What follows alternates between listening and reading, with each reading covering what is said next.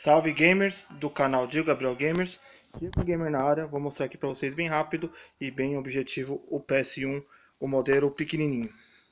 Aqui é o botão Power, aqui é o botão de abrir a tampinha, aqui ó o leitor dele para vocês verem, bem da hora né?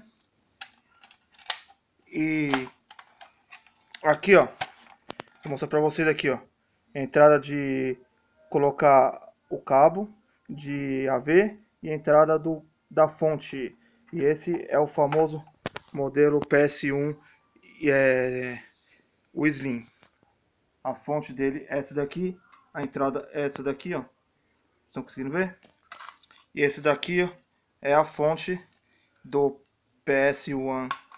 Esse é o PS1. Esse aqui é o modelo PS1. É, galera, e esse daí é um vídeo bem rapidinho, bem objetivo para vocês. Ó, aqui, ó, aqui é a entrada do